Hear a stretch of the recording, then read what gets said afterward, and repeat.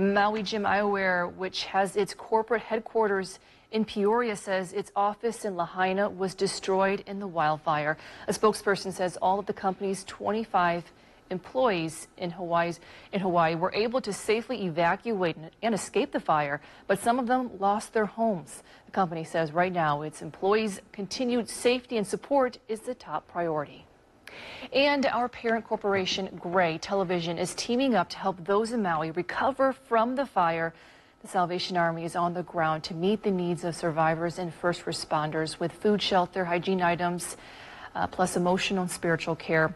They're also giving out thousands of meals and food items for survivors in shelters as well as those who are staying with family and friends.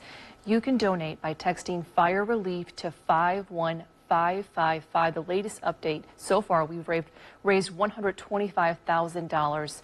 You can also find a link to donate on our website, 25newsnow.com.